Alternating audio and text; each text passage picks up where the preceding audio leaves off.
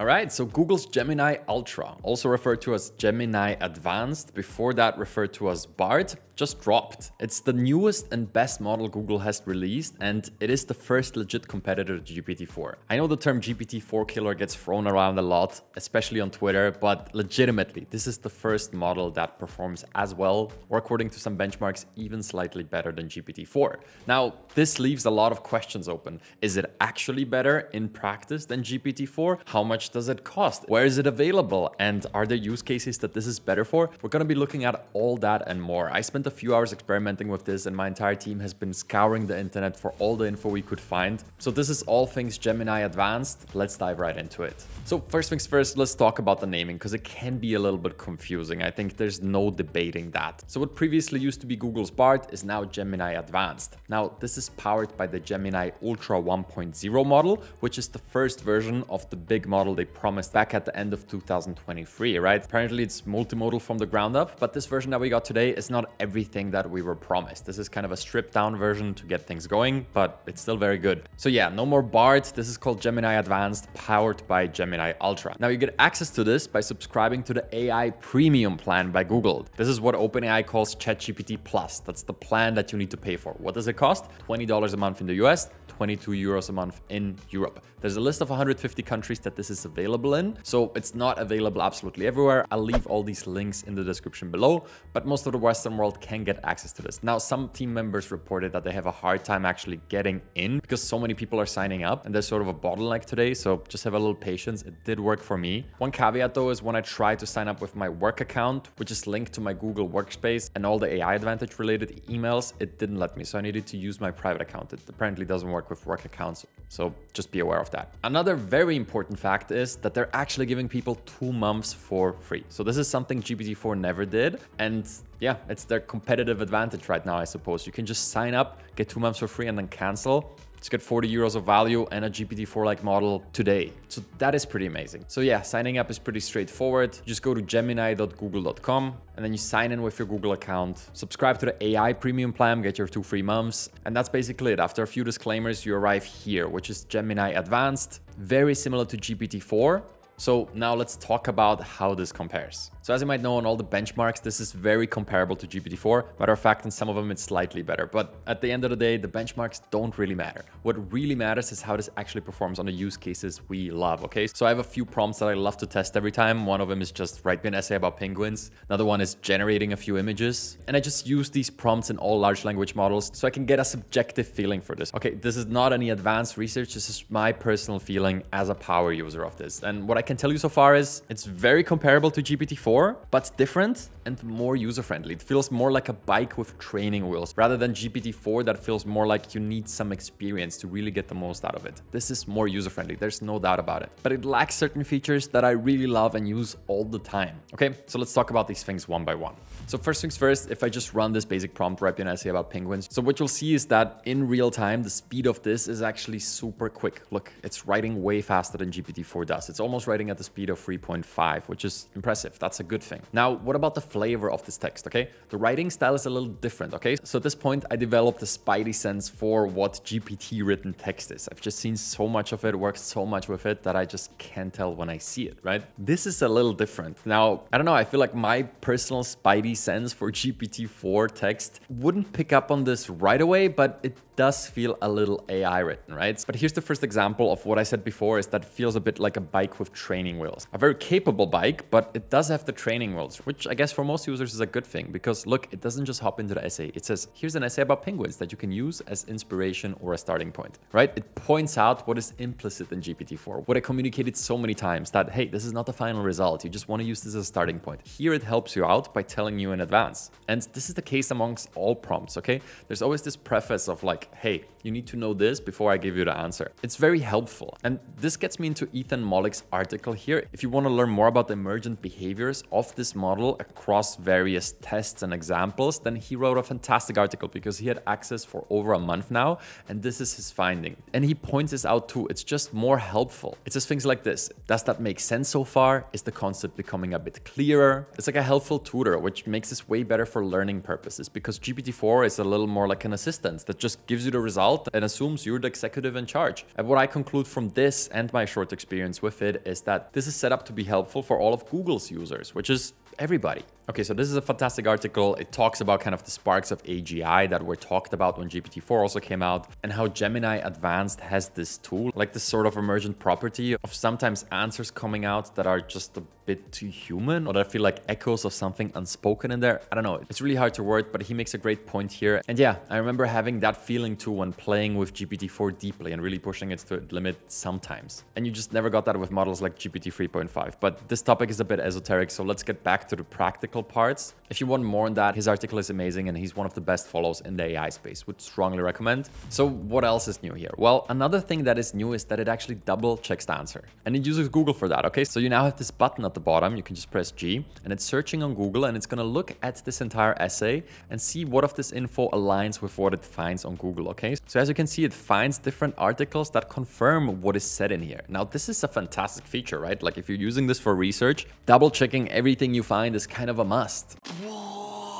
Even if you prompt super well, you're usually looking at somewhere from 80 to 90% probability of all the facts actually being right. There's just always a chance of hallucination. If you eliminate all hallucination, it won't be creative anymore. It's just the inherent property of these language models. But here, it uses Google search to double check this. Now, how good is this? I don't know, because we have a similar thing with Bing. You can kind of do this using internet browsing. That doesn't work really well. I think only time will show how good this double checking is, but I really like this concept. Now you can rate it and say if this was helpful or not. I guess it's a good feature to have. And talking about features that are in here, this interface is way richer too, okay? So one point of view saying that's worse because you have more clutter, but another point of view is, well, it's more user-friendly. It just shows the options, right? So these are all things that I would manually prompt all the time, right? Change the style to more casual, more professional, make it simpler, longer, shorter. This is all things we talked about on this channel a year ago. Like varying the styles is literally one of the first videos I did in 2022.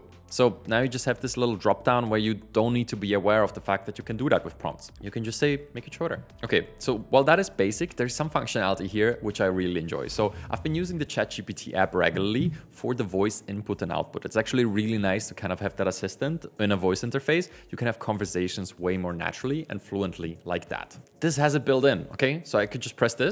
Absolutely. Here's a shorter version of the Penguin essay. And I could use voice to input, right? Make it more concise nice to have. I reckon that OpenAI is going to add this shortly, as they kind of have to now. And this is the thing that I'm excited about here. A lot of these things will prompt OpenAI to take steps further ahead. So as we wrap up this video, I'll talk about the direction this product will probably be taking and the direction that OpenAI will be taking from here on out. Because hey, we have competition now. But before we do that, let's talk about the final differences here. What else should you know? Well, okay, so let's talk about the things that it doesn't have, because there's actually quite a few. One of them would be code interpreter. I use that all the time. This just doesn't exist. Now around the release, they did mention that this will be coming later on, but as of today, it's just not available. And another thing is that the image model is very different here, okay? So this is not DALL-E 3 as with OpenAI. And look, it just refuses initially, then I simplify it and remove the text. And here we have an image of a cat with a hat. Now, I dare to say that DALL-E 3 is actually superior in this, but I guess a lot of that is subjective. Also, it's not the most important criteria, right? Okay, so another thing that is obviously missing here is GPTs. I really learned to enjoy the fact that I can set up these chatbots with preset instructions, knowledge bases,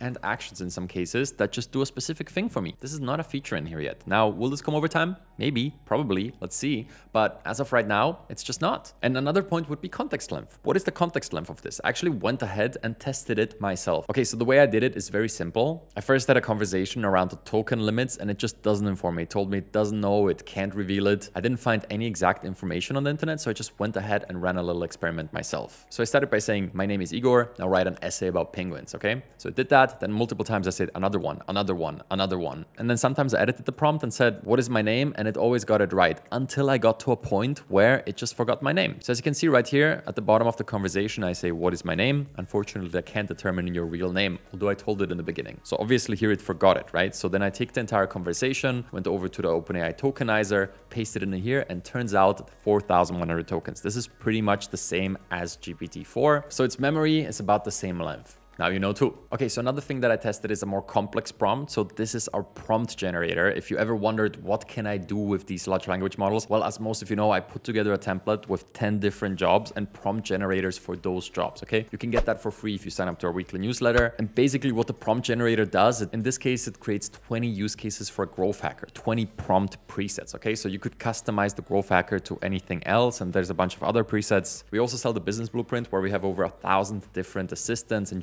GPTs and prompt generators for them, right? So this is a very complex prompt that doesn't just use shot prompting, but also a lot of intricate prompt engineering. And what it does is it creates 20 prompt templates. Now I compared these because I did this a lot and I gotta say they're equally as good. So with a complex prompt like this, it works very well better than any other weaker model that I've seen so far. Even models like Llama 70B didn't get this right. GPT-4 was the only one where this worked really well. Now Gemini Advanced is another one. So yeah, from my point of view, I would confirm this is a GPT-4 competitor. It lacks a few features here. It has some minor advantages there, but overall it's really good and you can get it for free for two months. So this is not a bad deal no matter how you look at it. Now there's one more thing which we should point out, and that is the perks that BARD already had over GPT-4, right? Beforehand, the model was not as good, but it did have these extensions. And I'm not talking ChatGPT plugins, which were like community developed and they usually did one thing. And let's just be real, most people didn't even use them. But here it integrates into Google Flights, it integrates into Google, it integrates into Google Maps and YouTube, workspaces, hotels. Now these are some of the best apps on the internet, right? YouTube goes without saying. Maps and flights are used for travel planning all the time. So things like pulling YouTube transcripts or data from YouTube is going to be way simpler and way more fluid. It has been with BARD. It's just the base model was not good enough to be used all the time. Well, that model doesn't exist anymore because now we have Gemini Ultra powering this Gemini Advanced AI. All right, so that leaves one question open and that is where's OpenAI heading and what is it going to do to the entire space? Well, this is my take. Yes,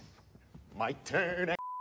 So OpenAI has clearly been going in the direction of autonomous agents. Okay, if you're familiar with projects like AutoGPTs and Baby AGIs, I've been talking about this in six months, how this is the clear direction that they've set with the release of GPTs and the GPT store, although they are in their infancy. It clearly sets the direction of, hey, we want to build autonomous agents that are going to do stuff. Okay, they're going to be going around clicking buttons, doing things. And Gemini Advanced is taking a bit of a different direction here. It's trying to be your helper, not just your assistant, but really your tutor. This is going to be there to plan your trips, to help you learn things. And as they roll out more of the multimodal functionalities, which I'm very excited about, more and more use cases will be unlocked, especially as it integrates into their native ecosystem of just incredible apps that already exist, right? It's all going to work together. It's going to be double checked with Google search. This is a powerful competitor for GPT-4. And finally, they're out. And hey, I'm down for some competition because that's going to drive OpenAI to release more cool stuff sooner as we finally have a second player that can match up to GPT-4.